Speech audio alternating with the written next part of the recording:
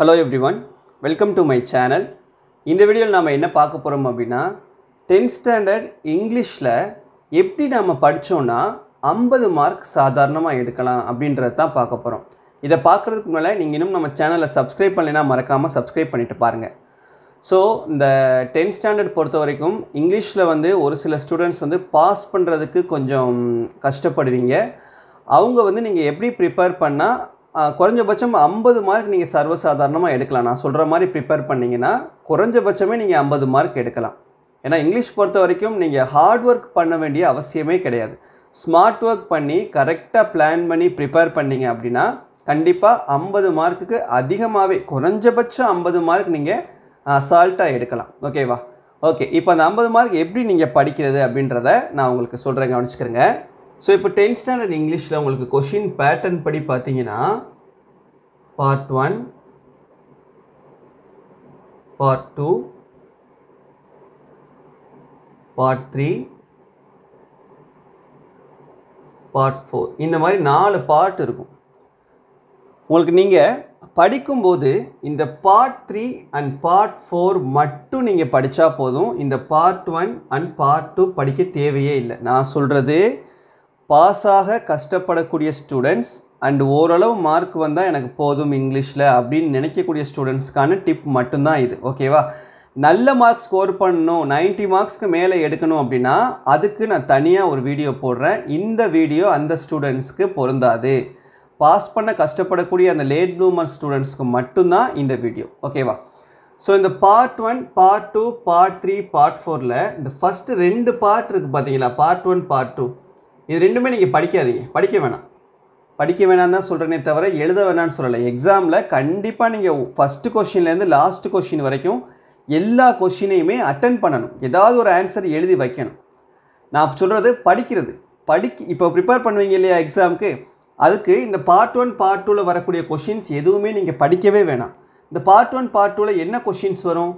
Part ஒனில் வந்து choose the correct answer வரும். சூஸ் த கரெக்ட் ஆன்சர்ஸில் என்னென்ன வரும்? சினானிம்ஸ் வரும் ஆன்டனிம்ஸ் வரும் வெக்காபுலரி வரும் கிராமர் வரும். இதுக்கு மொத்தம் பதினாலு மார்க்கு இந்த பதினாலு மார்க்குக்கு நீங்கள் படிக்காதீங்க. எதுவுமே படிக்க வேணாம். சரியா? அதே போல் பார்ட் டூவில் பார்த்தீங்கன்னா டூ மார்க் கொஷின்ஸ் இருக்கும். இந்த டூ மார்க் கொஷின்ஸ் என்னென்னலாம் இருக்குன்னா நம்ம ப்ரோஸ் இருக்கு இல்லையா? அந்த ப்ரோஸில் உள்ள கொஷின் ஆன்சர்ஸ் வரும். அதுக்கப்புறம் போயம் இருக்கு இல்லையா? ப்ரோயம் போயமில் இருக்கக்கூடிய அப்ரிசியேஷன் கொஷின்ஸ் வரும். அதுக்கப்புறம் பார்த்தீங்க அப்படின்னா வந்து டூ மார்க்கில் கிராமர் வரும். இதையெல்லாம் அப்படியே விட்டுருங்க. எதுவுமே படிக்க வேணாம். இதையும் நீங்கள் ப்ரிப்பேர் பண்ணாதீங்க. நீங்கள் கான்சென்ட்ரேட் பண்ண வேண்டியது இந்த part three and part four இது ரெண்டை மட்டும்தான். ஏன் அப்படின்னா இந்த பார்ட் த்ரீயில் வந்து நமக்கு ஃபைவ் மார்க் கொஷின்ஸ் வரும். எத்தனை ஃபைவ் மார்க் கொஷின்ஸ் வரும் தெரியுமா? பத்து ஃபைவ் மார்க் கொஷின்ஸ் வரும். எவ்வளோ மார்க் ஆச்சு? ஐம்பது மார்க் ஆச்சு. இந்த ஐம்பது மார்க்குக்கு நீங்கள் கான்சென்ட்ரேட் பண்ணி படிங்க. அது எப்படி படிக்கணுன்றதை நான் இப்போ உங்களுக்கு சொல்கிறேன் அதே போல் பார்ட் ஃபோர் இந்த பார்ட் ஃபோரை எடுத்துக்கிட்டிங்கன்னா இது உங்களுக்கு எத்தனை மார்க்குக்கு வரும் அப்படின்னா இதில் வந்து எயிட் மார்க் கொஷின்ஸ் இருக்கும். ரெண்டு எயிட் மார்க் கொஷின்ஸ் இருக்கும். மொத்தம் பதினாறு மார்க் இந்த அறுபத்தி ஆறு மார்க்குக்கு நீங்கள் படிங்க படித்து ப்ரிப்பேர் பண்ணுங்கள் அப்படின்னு நான் சொல்கிறேன் இந்த அறுபத்தாறு மார்க்கு நீங்கள் படிச்சீங்கன்னா குறைஞ்சபட்சம் ஐம்பது மார்க் உங்கள் கையில் இருக்குது ஓப்பன் சாய்ஸா அப்படின்னு கேட்டால் கிடையாது. அதில் நமக்கு மொத்தம் அஞ்சு செக்ஷன் இருக்குது. Section one section two section three section four section five இதில் நாம் படித்து எழுத போகிறது நாலு செக்ஷன் செக்ஷன் ஒன்று ரெண்டு மூணு அஞ்சு. இந்த அஞ்சு இந்த நாலு செக்ஷன் வந்து நம்ம படித்து எழுத போகிறோம் இந்த செக்ஷன் இருக்குது பார்த்தீங்களா செக்ஷன் ஃபோர் அப்படின்றது. இது நாம் ஆன் த ஸ்பாட்டில் அட்டன் பண்ணக்கூடிய ஸ்கில் பேஸ்டு கான்செப்ட் ஓகே இப்போ இந்த செக்ஷன் ஒனில் பார்த்தீங்கன்னா என்ன நமக்கு இருக்கும்? ப்ரோஸ் பேராகிராஃப் கேட்பாங்க. கொஷின் நம்பர் இருபத்தி ஒன்பது முப்பது முப்பத்தி ஒன்று முப்பத்தி ரெண்டு மொத்தம் நாலு பேராகிராஃப் கேட்பாங்க. உங்களுக்கு போர்ஷனில் மொத்தம் அஞ்சு ப்ரோஸ் இருக்குது ஃபஸ்ட் ப்ரோஸ் இருக்குது தேர்ட் ப்ரோஸ் இருக்குது ஃபோர்த் இருக்குது ஃபிஃப்த் இருக்குது சிக்ஸ்த் இருக்குது.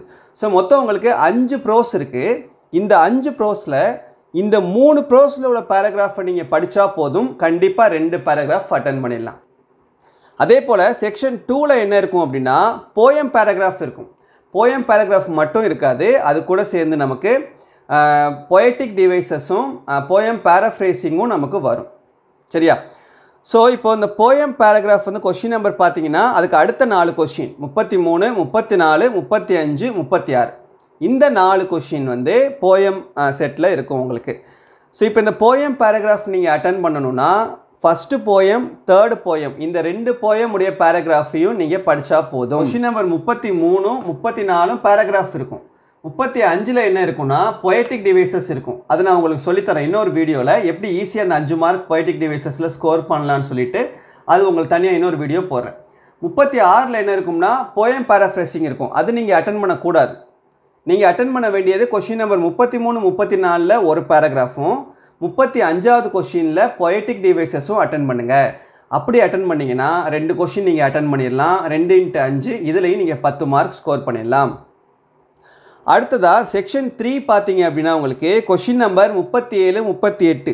இதில் சப்ளிமெண்ட்ரியிலேருந்து வரக்கூடிய கான்செப்ட் சப்ளிமெண்ட்ரியிலேருந்து முப்பத்தி ஏழாவது கொஷினில் என்ன இருக்குன்னா ரீஅரேஞ்ச் த சென்டென்சஸ் இருக்கும். அதாவது அந்த ஸ்டோரி இருக்குல்லையே அவங்களுக்கு வந்து ரெண்டே ரெண்டு சப்ளிமெண்ட்ரி தான் இருக்குது. ஒன்று ப்ராஸ்பரோ இன்னொன்று ஜிக்ஸாக் இந்த ரெண்டு தான் இருக்குது.